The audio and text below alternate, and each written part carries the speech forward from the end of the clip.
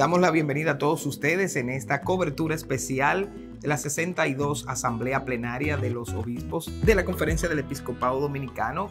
Nuestra hermana Michelle Sandoval y un servidor Giovanni Crawin que le estaremos compartiendo con ustedes las incidencias de estos días en que la conferencia en esta asamblea se dedica a acompañar, analizar, todo lo que sucede en nuestras diócesis del país. Y queremos invitarles a que se mantengan atentos a todos los medios aliados que hacen posible llevar la voz de nuestros pastores al corazón del pueblo dominicano, a Televida, el canal de la familia, a la red de emisoras católicas UDECA, igualmente a la voz de María, a Luz Divina y varios medios internacionales y las redes sociales que se han aliado a esta cobertura especial desde la Casa María de la Alta Gracia. Y es que este acontecimiento de iglesia que vive en pues nuestra Iglesia Católica Dominicana es una reunión especial de sinodalidad y de unión. Mira, y qué signo más hermoso fue recibir la visita de nuestro cardenal Nicolás de Jesús López Rodríguez. Fue un momento muy emotivo. Ahí pueden ver ustedes las imágenes de apoyo, cómo los obispos lo reciben, le saludan, conversan con él, hasta bromean en algunos momentos, Cragüín. Y también pues las eh, consagradas de la Casa de Convivencia, que son un fruto de precisamente del Cardenal López, pues le cantaron una canción. ¿Tú recuerdas la canción?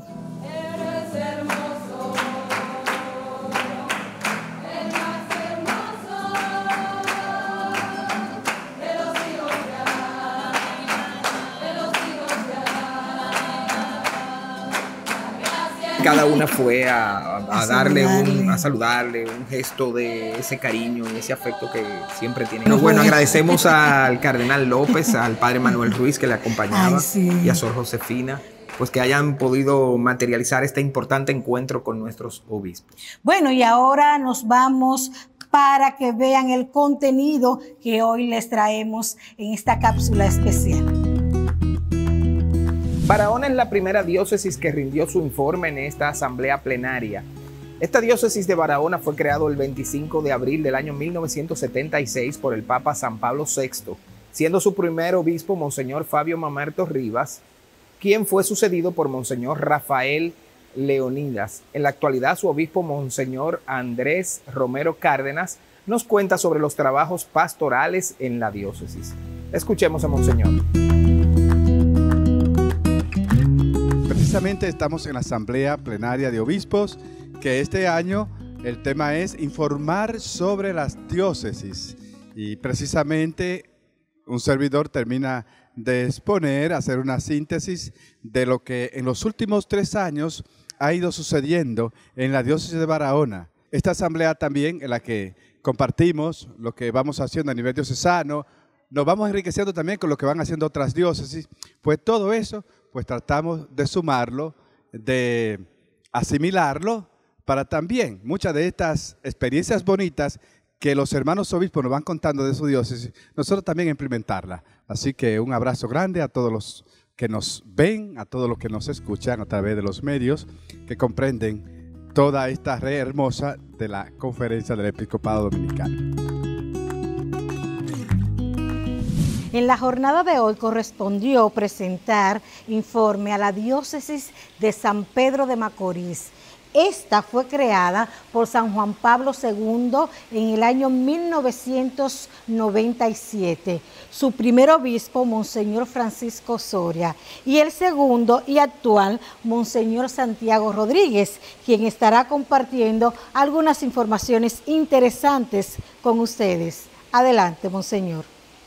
Nos tocó presentar todo lo que es la estructura diocesana, de pastoral, además cómo está organizada nuestra diócesis, donde ya decíamos y especificábamos que las cinco zonas pastorales de nuestra diócesis son las que conforman precisamente las parroquias, con un total de 32 parroquias en la que vamos caminando y ejecutando todo lo que es el Plan Nacional de Pastoral y por ende también el Plan Diocesano, con todo lo que ha sido la Asamblea, la reestructuración pastoral, los consejos parroquiales con el Gran Consejo Diocesano de Pastoral.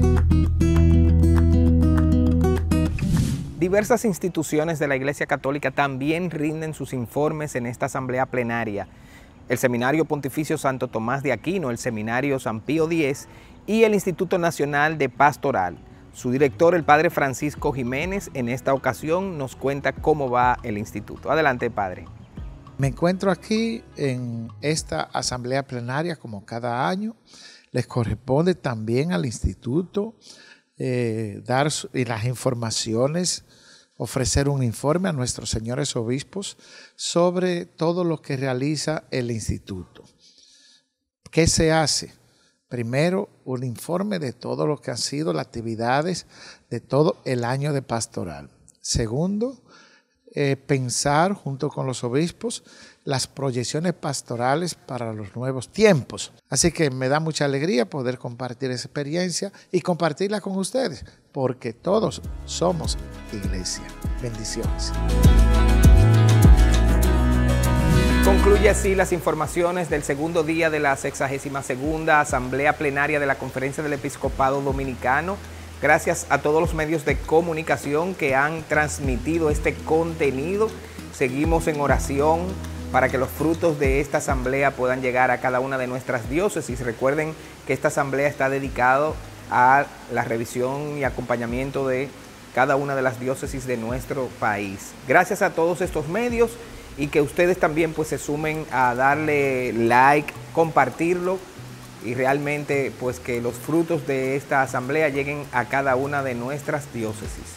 Bendiciones para todos ustedes.